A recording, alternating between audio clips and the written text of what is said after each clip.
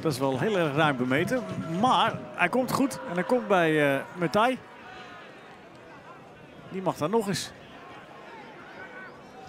En dan geen risico's. Er zal de gedachte zijn geweest van uh.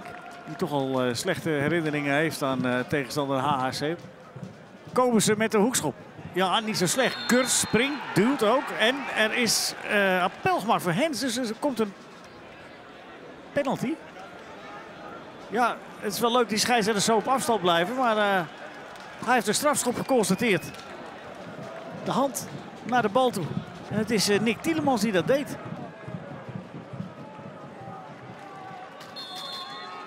Hoe rustig is Metai?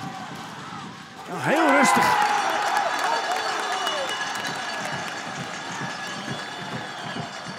Let op nummer 11. Beroert de bal met de hand. En dan uh, Metai. Zeer tegen de wet van uh, Johan Cruijff in. Want die zei altijd uh, moeten geen penalties nemen. Want die denken te veel na. Schuift als uh, linkspoot keurig binnen. En de gelegenheid om er 2-0 van te maken wordt niet benut door Tiemen van Hezel.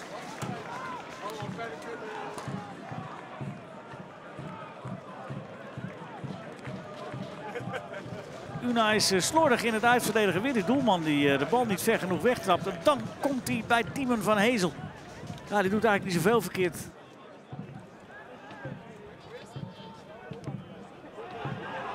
Schenning nu nog in het zonnetje, maar u ziet ook op de achtergrond dat het anders kan gaan. Maar zo is alles weer anders. En Cairo is heel snel met de rode kaart voor Kurtz. Zie, je maar hoe snel het allemaal kan draaien. Kurtz krijgt rood omdat hij een doorgebroken speler tegenhoudt. Dat betekent dat HHC nog wel op voorsprong, maar met een man minder voort moet. Ja, hij was er heel snel bij, Cairo.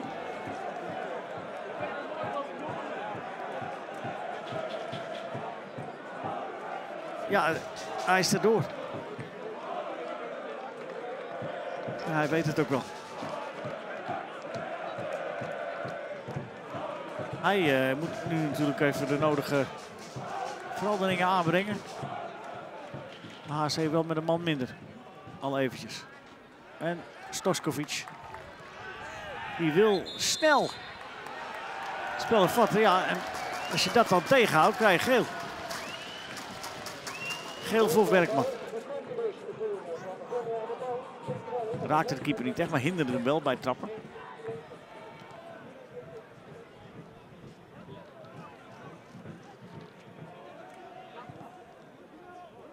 Ja, de beweging uh, niet alleen bij uh, Bogers. Een appel voor Hens. Als Van Boekel uh, de bal inzet. En er ook Van de Gevel bij betrokken is. Dat is Una dicht bij de gelijkmaker. Van de Gevel. En dan Van Boekel. Ja.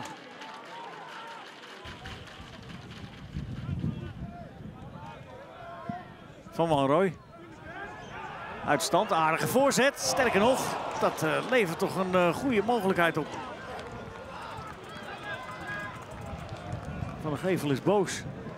En dat valt wel te begrijpen. Iets meer rust, bal nog een keer aannemen. Vier minuten extra tijd. Dat is veel. Dat is erg veel.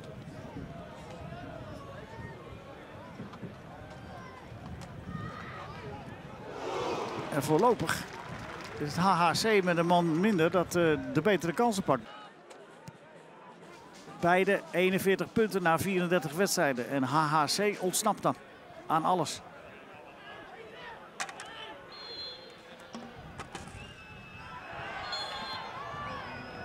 Baus, de overtreding op Tielemans. Tweede minuut van de extra tijd ook voorbij. Nu naar de vrije trap. Hard neemt. Daar heeft uh, Danes nog wel mazzel hoor, de. Een goede vrije trap. Pogers raakt die bal net niet.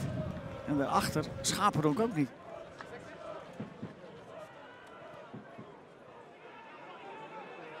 Kans voor Una. En die bal gaat er net niet in. Mart van de Gevel.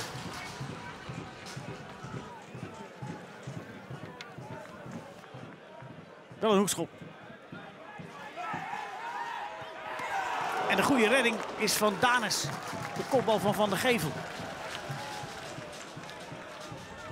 Vijf minuten gespeeld in de tweede helft. Mart van der Gevel helemaal vrij. En dan eh, recht op de doelman gekopt. Paas van Werkman. Stoskovic moet komen en uh, botst dan met Van der Leyen. Het is ja inderdaad wel uh, tamelijk wild. Maar dan krijgt uh, ook heel snel Van der de vrije trap tegen. En sorry hoor, hier moet je helemaal geen vrije trap geven voor wie dan ook. Waarom zou Van der Leyen hier nou een vrije trap tegen moeten krijgen?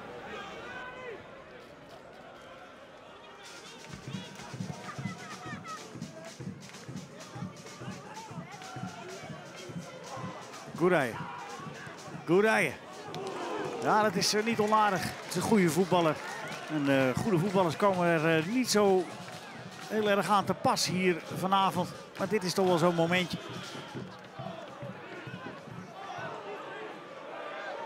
Stottelaar. Stottelaar. Een geweldige goal. Een geweldige goal van Jeroen Stottelaar. Ja, als het niet gaat via combineren, dan moet het zomaar. Jeroen Stottelaar, lang last van een knieblessure. Maar dit maakt alles goed. Onderkant lat daar tegen de kruising aan.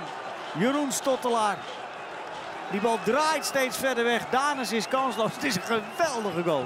Een echt geweldige goal. Ze hebben wel weer stuntjes uitgehaald de laatste weken. HHC Hardenberg. En zijn hier met Van der Leij dicht bij een doelpoging. Nou, die doelpoging is er, maar die bal gaat naast.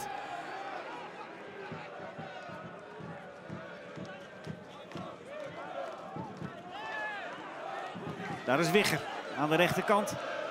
Lukt het HHC om uh, hier uh, nog een keer te scoren. Van der Leij springt en ze scoren nog een keer! Ze scoren nog een keer! En nu wordt alles en iedereen van HHC weer helemaal gek. Metai het is en blijft de grote held. minder. De voorzet van Wigger. Terug op Werkman. En dan valt hij goed voor uh, de oud-prof Metai. En wat is hij dan belangrijk? Het heeft uh, een minuut of tien feestelijk uitgezien voor Una. Maar nu is alles weer anders. Het kan zomaar weer omslaan natuurlijk. Het is knotsgek. Het is een hardschot van Van Weert. Die wordt ook nog geblokkeerd door Van der Leij. Dan gaat Tieleman zich er weer mee bemoeien. Want ja, die moet natuurlijk wel aan zijn quotum uh, gele kaarten komen. Dan ligt Gouraye op de grond. Zitten inmiddels, wat die extra tijd betreft, in de vijfde minuut. Al ruim over de helft. Maar er gaat nog extra tijd bij komen. Van der Meer, Van der Meer, Danes! Haalt de bal daar uh, onder de lat vandaan. Een grootste redding van Sander Danes. Goeie vrije trap hoor van uh, Jury van der Meer. Het eindsignaal van uh, Cairo. Na 6,5 minuut extra tijd weet HHC dat het feest kan gaan vieren. Zoals het dat de laatste weken wel vaker heeft gedaan. Una heeft het ook een paar keer mogen doen. Maar er was nog Metai. En die zorgde voor 1-2. En die zorgt voor feest in Hardenberg en omstreken. Want dat speelt zich op de aller, allerlaatste dag in de aller, allerlaatste seconde veilig. Speelt ook volgend seizoen dus in de tweede divisie.